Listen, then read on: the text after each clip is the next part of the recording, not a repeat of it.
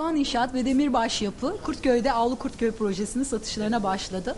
Ee, yanımızda Erdoğan İnşaat Yönetim Kurulu Başkanı Emre Maraşlı ve e, Demirbaş İnşaat Yönetim Kurulu Başkanı Sefa Demirbaş var. Projeyle ilgili kendilerinden bilgi alacağız. Öncelikle hayırlı uğurlu olsun projeniz. Ee, Kurtköy'deki birlikte yaptığınız dördüncü proje sanırım değil mi? Ee, Evet. Avlu Kurtköy projeniz. Projenin yatırım değeri hakkında kısa bilgi alabilir miyiz sizden? Ee, proje 132 daireden oluşuyor. 45 mil- milyon TL'lik bir yatırımla hayata geçti. Ee, Kurtköy'ün oldukça merkezi bir bölgesinde, Bakü Caddesi'nde bulunan bir projesi. Hmm, böyle. Böyle peki hayırlı uğurlu olsun. Bölgeye yatırıma devam ediyorsunuz. Dördüncü projeniz Demirbaş İnşaat'la birlikte yaptınız. Ee, bölgenin e, prim potansiyeli hakkında kısaca izleyicilerimizi bilgilendirir misiniz? Ee, bölge Kartal'dan Dilovası'na kadar, sunumda da anlatmıştık. Kartal'dan Dilovası'na kadar e, o bölgedeki en planlı e, so- tesisleri, tesisleşme açısından e, üniversiteler, kolejler, e, liseler, e, orada bulunan e, hastaneler, e, havaalanı ve teknopark e, taşınan tesisler açısından e, en ilgi çekici bölge. E, tahmini olarak e, Teknopark'a ve işte bu tesislere geçtiğimiz sene içinde 2000 beyaz yakalı taşındı. E, bölgede konut arzı da az. E, mesela tamamlanan konut sayısı ise sadece 1000. E, biz de bu e, arz talep dengesini doldurabilmek adına, e, dengeye getirebilmek adına konut inşaatlarına orada devam ediyoruz. E, ama e, işte Kurtköy'de geniş araziler ve e, geniş arazilerin üzerine yapılan az projeler e, olabiliyor. E, bu da bu talebi doldurmakta biraz zorlanacağımız anlamına geliyor. Uğraşıyoruz. Peki bölgenin sizce ne kadar konuta ihtiyacı var bu anlamda baktığımızda? E, 2024 yılına kadar tahminen bir 15-16 bin konut gerekli. E, tahmini şu andaki bizim görüştüğümüz arazilerin hepsini yapabilsek 1800 konut anca yapabiliyoruz. Yani Kurtköy artık kendi içindeki talebi karşılayamaz. E, tahminen artık çevre bölgelere e, biraz daha prim olarak yansıyacaktır diye düşünüyoruz. Evet, e, avlu konseptinde bir proje e, geliştirdiniz. E, Sefa Bey de projenin detaylarını, e, konseptini soralım kısaca. Nasıl bir konsept oluşturdunuz bu projede Sefa Bey? Projenin isminden de belli olduğu gibi Avlu Kurtköy, e, Kurtköy'de gerçekleştirdiğimiz ve de avlu şeklinde gerçekleştirdiğimiz bir proje. Bütün e, yaşam alanını e, projenin tam ortasında, avlunun içinde tasarladık. Güvenli bir e, yaşam alanı e, oluşturduk.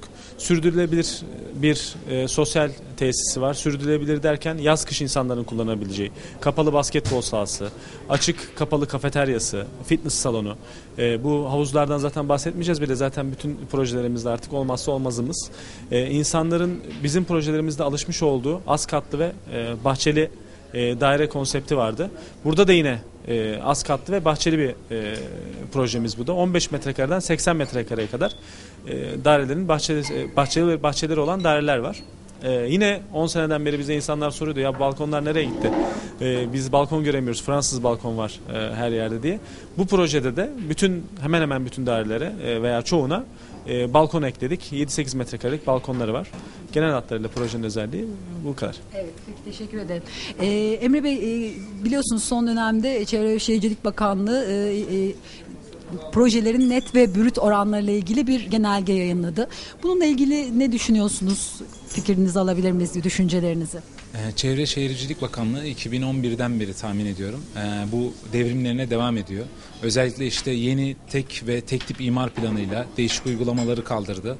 Ee, KDV yasası ve mütekabiliyet yasası yine onların etkisi sayesinde çıktı. Ee, bu yine bu devrimlerden biri bence. Ee, çünkü gerçekten artık bu brüt net e, metrekare o, durumları anlamsızlaşmaya başlamıştı. Bunları tahmin ediyorum bu ilk genelgeden sonra e, bir düzene getirmeye başlayacak. Daha içeriğini tam bilmiyoruz. Şimdilik tapu brütü alınacakmış gibi bir söylenti var ama e, tahmin ediyorum bu biraz daha net kullanım alanlarının öne çıkması. Yani insanların e, faydalanacağı metrekareyi e, bunlarla tanıtım yapılmasını öngören bir e, uygulama olacak sanıyorum. Ben olumlu karşılıyorum. Zamanı gelmişti. Evet, e, doğru bilgilendirme e, yapılacak diye biz de algıladık e, bu uygulamayı. Peki, e, birlikte yapacağınız bölgede başka projeler var mı planladığınız Demirbaş İnşaat'la birlikte? Ee, var. Tabii var. Ee, şu anda görüşme aşamasında. Çok düşünerek söylediniz. Yani şimdi tabii bir söz verip de e, pazarlıklarda e, elimizi zayıf konuma getirmek istemeyiz. Hala pazarlıklar devam ediyor. E, söylesek mi söylemesek mi diye düşündüm de. Bölgede arsa da az değil mi Kurtköy bölgesinde? Böyle bir sıkıntı var aslına bakarsanız. Toplasanız 12-13 tane e, şu anda konut yapılabilecek arazi var. E, gerçekten bölgede arsa, e, konut arzı pek yeterli değil. Arsa İlgi de gören bir bölge. Peki e, çevresinde gelişmeye açık bölgeler var mı? O, o bölgelere açılmayı düşünüyor musunuz? Yeni arsalar yakın bölgelerde. Akfırat'a yeni bir imar planı gelirse Akfırat biraz güzelleşir ama bunun dışında diğer bölgelerin planları ve mevcut tesisleri yeterli değil. Evet. Peki e, biraz da projenin fiyatlarıyla ilgili bilgi alalım. Sefa Bey sizden öğrenelim bunu da. Projenin satış fiyatları oldukça enteres- enteresan. Bölgenin e, altında bir fiyatla çıkıyorsunuz. Neden böyle bir fiyatla çıktınız projenize? E, metrekaresinin 2500 TL'den çıktığımız bir e, proje bu. Dediğiniz gibi aslında altında %25 altında. Bunun en büyük nedeni de arsanın bizim olması.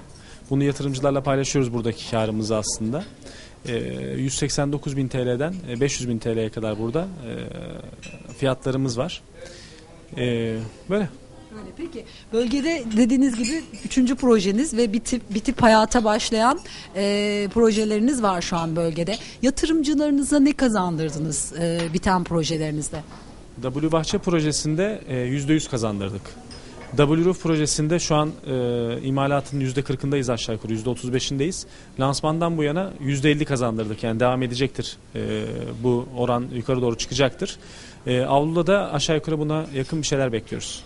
Yani e, bu anlamda e, karımızı e, müşterilerimizle paylaşıyoruz diyorsunuz. Tabii Ergoran İnşaat'ın mesela orada yine tek başına yaptığı proje vardı Q Bahçe. Onda da benzer bir e, başarı yakalandı.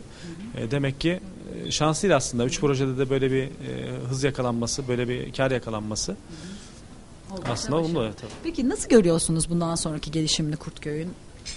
Yani Kurtköy butik bir bölge. Yani e, hiç e, her zaman yaptığımız konutların orada talep göreceğinizi düşünüyoruz. Çünkü mesela 15 bin metrekare araziye sadece 100 konut yapabiliyoruz. E, yani bu bir merkezi gibi çok yoğun değil. Her zaman müşterisi var. Her zaman e, havaalanı etrafında olduğu için yurt dışı alıcısı e, bile mümkün görünüyor. Evet, bölgeye metro da gelecek değil mi? Yakın bir zamanda. Bununla ilgili net bir şey bilginiz var mı zamanlama açısından? Yani 2015 deniyor ama tabii bu e, böyle herhalde 2017 2018'lere kadar uzar. Bu da konut fiyatlarını e, çok etkileyecek. Ne kadar etkilemesini öngörüyorsunuz?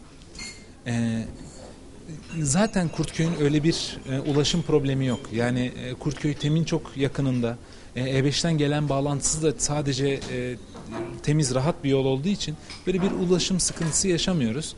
E, bütün toplu taşıma araçları da bu hatları kullanıyor. Şimdilik yoğunluk, trafik sıkıntısı olmadığı için metro çok fazla etki etmez. Ama ne olur işte bir popülerliğini artırır. Genelde her gelen fasilite %10-15 civarında bir artış sağlattırıyor. Evet. Peki çok teşekkür ediyorum. Hayırlı uğurlu olsun yeni Biz proje. teşekkür ederiz. Teşekkür ederiz. Sağ olun.